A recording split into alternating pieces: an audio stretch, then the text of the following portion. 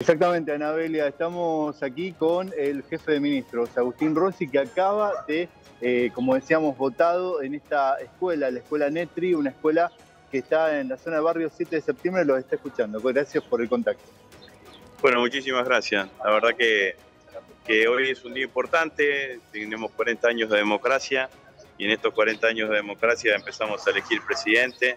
En primer lugar, mi reconocimiento a todos a todos los que, están participando de las distintas agencias del Estado en, este, en esta tarea. ¿no?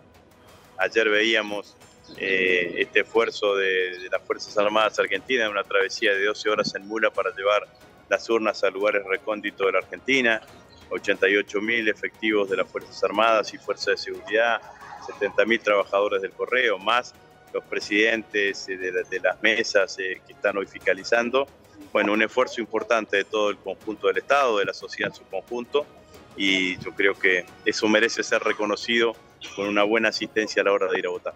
Bueno, una escuela que tiene un contexto complejo, ¿no? porque fue baleada eh, junio, principio, el 6 de junio esta escuela, hubo un hecho de violencia, unas cuadras nada más. Digo, ¿cómo le impacta esto como Rosario?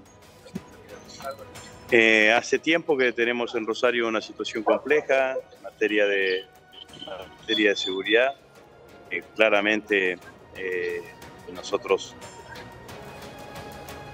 de Rosario, vine a votar con mi esposa, con mis hijos, eh, así que no, no, lo vemos por televisión, digamos, no lo vivimos claramente por todo lo que esto, todo lo que esto significa.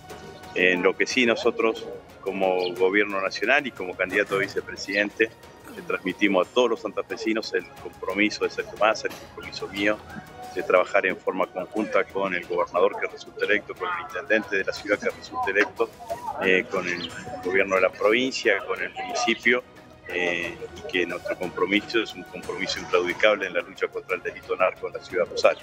Eh, lo venimos haciendo y lo vamos a seguir haciendo. ¿Habló con Massa, habló con el presidente en las últimas horas? Sí, claramente, hablé con ambos. estuve en todo el día de ayer en contacto con ellos y, y bueno, y y eh,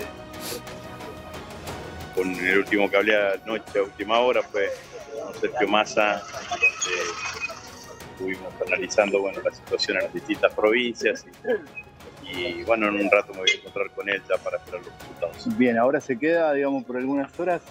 No, no, me quedo, estoy esperando que mi mujer termine de votar, vota en una escuela que está a, una cuadra de aquí, eh, así que Después eh, vamos a almorzaremos en familia y después a primera hora de la tarde me estoy yendo a Buenos Aires. ¿Alguna cábala, digamos, por esta jornada? Tengo un problema con las cábalas, me las olvido. Así que, por eso no tengo cábalas, porque me olvido las cábalas, así que no, no tengo cábalas. ¿Va a estar llegando a Buenos Aires a qué hora para escuchar y.? No, no, voy a estar seguramente después de las 6 de la tarde, 7 de la tarde, en, lo que es nuestro, nuestro búnker, así que ahí voy a estar. Muchas gracias. No, muchas gracias a ustedes. Ahí estaba, eh, eh escuchábamos, como decíamos en vivo, la palabra. Sus palabras, eh, bueno, decíamos eh, Agustín sí, sí, Bien, el vice, quien precandidato a vicepresidente. es precandidato a vicepresidente, dijo cómo iba a ser su jornada en el día de hoy, una jornada, la mayoría de ellos en familia, en donde finalmente lo que hacen es después reunirse, obviamente, para llevar adelante la espera de lo que van a ser los primeros números de la jornada del día de hoy.